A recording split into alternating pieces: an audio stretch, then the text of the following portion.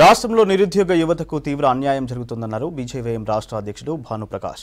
ఏడేళ్ళ నుంచి పెద్ద ఉద్యోగ నోటిఫికేషన్ ఒక్కటి కూడా విడుదల కాలేదన్నారు. నిరుద్యోగ సగటులో రాష్ట్రం ఐదో స్థానంలో ఉందన్నారు. నోటిఫికేషన్లు లేక నిరుద్యోగులు ఆత్మహత్యలు చేసుకునే పరిస్థితి ఏర్పడిందన్నారు. తెలంగాణ నిరుద్యోగ యువతకు భరోసా ఇచ్చేందుకు ఈ నెల తొమ్మిది నుంచి ఆగస్టు ఇరవై వరకు బీజేవైఎం ఆందోళన కార్యక్రమాలకు పిలుపునిచ్చిందన్నారు.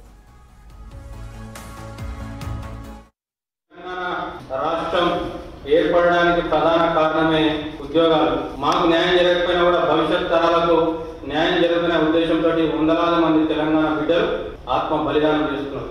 ఆత్మ బలిదానాల మీద తెలంగాణ పెద్దలెక్కినటువంటి సీఎం కేసీఆర్ ఏడు సంవత్సరాలుగా ఇప్పటి వరకు కూడా పెద్ద నోటిఫికేషన్ ఇవ్వలేదు. తెలంగాణ రాష్ట్రంలో ఉద్యోగ కల్పన కోసం మరోసారి యువత నిరుద్యోగులు ఆత్మస్థైర్యాన్ని కోల్పోయి ఆత్మహత్యలు చేసుకుంటున్నప్పుడు కూడా తెలంగాణ ప్రభుత్వానికి చీమ వదిలినట్టు కూడా లేదు. కేఆర్ఎస్ తమ కుటుంబంలోని బిడ్డలకు ఉద్యోగాలు వస్తే సరిపోతుంది. టీఆర్ఎస్ పార్టీలో పనిచేసేటువంటి వాళ్ళకు ఉద్యోగాలు వస్తే సరిపోతుంది అని చెప్పేసి తెలంగాణ రాష్ట్ర ప్రభుత్వం వ్యవహరిస్తా ఉన్నది. ఖచ్చితంగా తెలంగాణ రాష్ట్ర ప్రభుత్వం మెడ వంచి ఉద్యోగాలు సాధించే వరకు కూడా మా పోరాటం ఆగదు. అందులో భాగంగా రేపు రాష్ట్ర వ్యాప్తంగా అన్ని జిల్లాల్లో కూడా నిరుద్యోగులను యువతను కలుపుకొని పెద్ద ఎత్తున అర్ధరంగ ప్రదర్శన పిలుపునివ్వడం జరిగింది.